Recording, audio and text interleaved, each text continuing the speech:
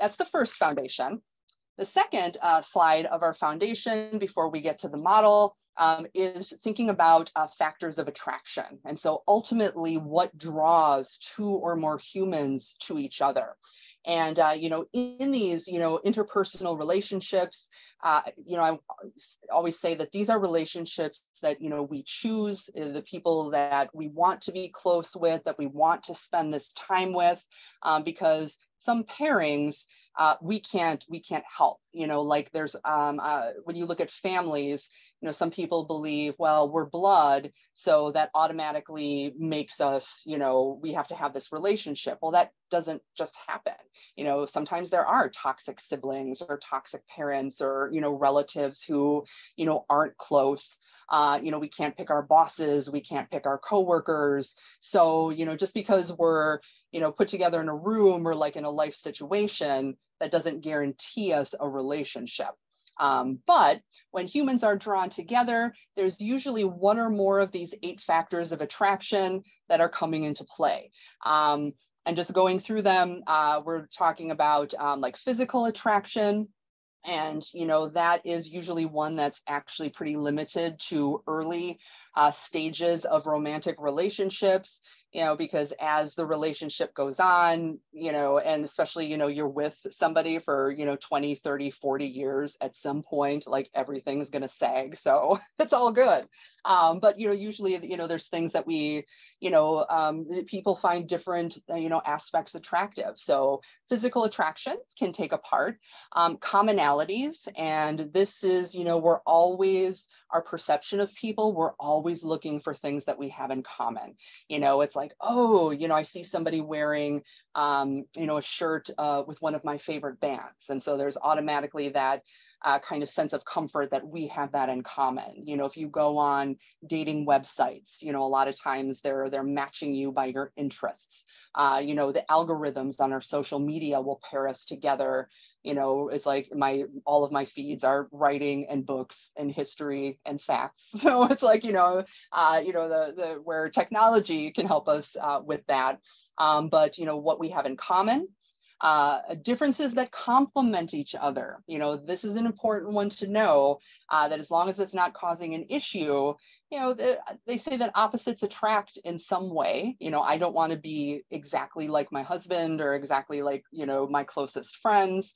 Um, like in my own marriage, uh, I uh, am all, you know, words and reading and writing. And uh, my husband will read news articles and comic books. He's like, yeah, I, I haven't read a book since high school. Uh, he's very supportive. You know, he participates in, in my creativity in other ways um, by like going and doing research with me, but he's not going to sit down and read my 300 page book. But he's a, a wizard at math and he builds things and I'm lucky I can add. So we complement each other. Uh, number four is pretty self-explanatory. So reciprocal liking, you know, oh, that person likes me back, you know, otherwise you just have the one person pining, you know, forever. Um, admiring someone's abilities. And I love learning like what my friends and, you know, and everybody's like into, you know, think about ways that you talk about your closest people. And a lot of times that will drift to, oh, you know, they're an amazing painter or, you know, oh, you know, um, you know they uh, like i had one friend who i admired she was an event planner and just the uh, you know the ability to organize and like put together weddings and fundraisers i'm like oh my gosh you know this is this is a skill. So we admire someone's uh, abilities um, self-disclosure. So the way you know what do we trust uh, and with whom? Like if something really really difficult happened to you right now who are the top three people you would try to call or text or reach out to?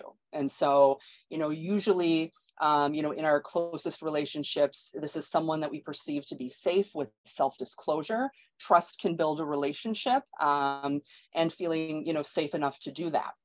Number seven is proximity. So we do tend to form relationships with people that we interact with uh, on a more, you know, regular basis. Uh, that can be in person, that can be digital. You know, we tend to, you know, recognize like right here in the Hedgie house, you know, who's in the prickles that fit, you know, um, uh, the ones that are good for our times and we get to you know know maybe some more than others it's always a treat to like jump into Prickles and meet new people but you know we tend to uh, you know talk more form relationships with people that you know are there in our space and get to know us and then finally, uh, what's known as rewards. So what we get out of a relationship. Uh, a lot of times, you know, people think of relationships uh, as, you know, that scale, that like 50-50 it doesn't stay uh, there. You know, like if I'm going through something really difficult, you know, one of my friends will give their time and, you know, I'm not, I, I don't, you know, I can't give at that moment, you know, it'll, you know, and it'll go. But if you've ever had a relationship where you get to a point that you feel I'm making all the effort or it's way more stressful, you know that uh, you know then then it, then you're getting like anything good out of it. Um, chances are you know the rewards are askew.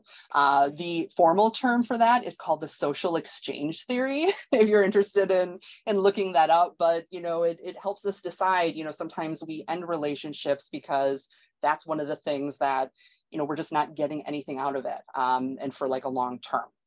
So absorb you know the foundation. I know that you know that's a lot to take in uh, to begin um, because what i specifically want to discuss is Knapp's relational model. And uh, so this is uh, he puts them into the there's 10 stages uh, that are in three broad categories. And you know he really calls attention to that each stage serves a purpose uh, and each stage involves different type of communication this is a visual of the stair steps. So this is one of those that I'm like, oh, I wish I could like put to the um, the graphic, uh, but if you've got, you know, snap a picture of it, but I'll, I'll make this available uh, to everybody after, after this presentation. So, you know, each of these uh, stair steps, um, there's a couple things I want to say before I go through the description of each of them. Um, people uh, do spend different amounts of time at each stage and it's not a perfect you know up and down you know if it does if the relationship does come to termination.